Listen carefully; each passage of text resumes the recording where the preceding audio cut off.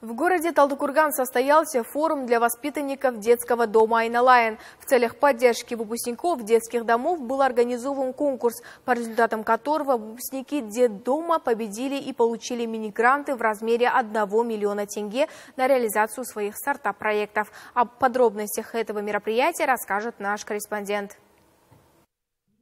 Учись, трудись и стань успешным. С таким девизом воспитатели детских домов Айналайн провели тренинги по личностному росту и ознакомительные встречи с социальными службами для воспитанников. На встречах была предоставлена информация, с помощью которой они в будущем смогут самостоятельно осуществлять свои жизненные цели. Подростки воодушевляются историями известных выходцев детских домов, таких как Коко Шанель, Марлин Монро, Стива Джобса и многих других, преодолевших немало трудностей на своем звездном пути.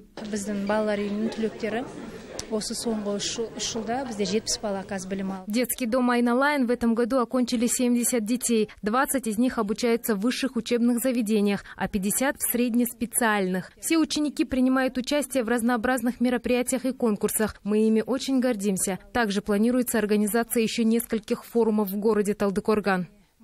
Для победителей конкурса «Шаг вперед» были выделены три мини-гранта в размере 1 миллиона тенге. В свою очередь, ребята призвали младшее поколение развиваться, рисковать и идти к своей мечте, несмотря на трудности. Под занавес мероприятия была представлена небольшая концертная программа, по завершению которой каждый получил небольшой памятный подарок. Я являюсь выпускником детского дома Айналана. Я выиграла в проекте «Миллион тенге» на развитие правильного питания.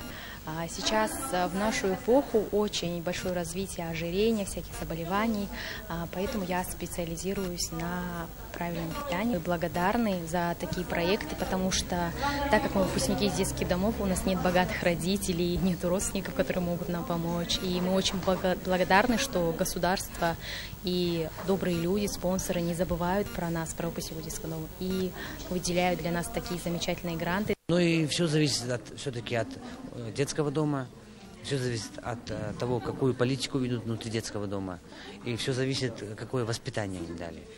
Потому что от детей они поставили себе цель, они поставили себе задачу, и они идут по своей цели до конца.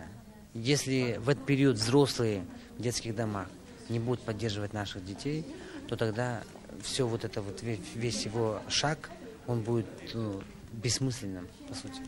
Поэтому и детский дом, и неправительственные организации, власть должна друг друга вот так поддерживать.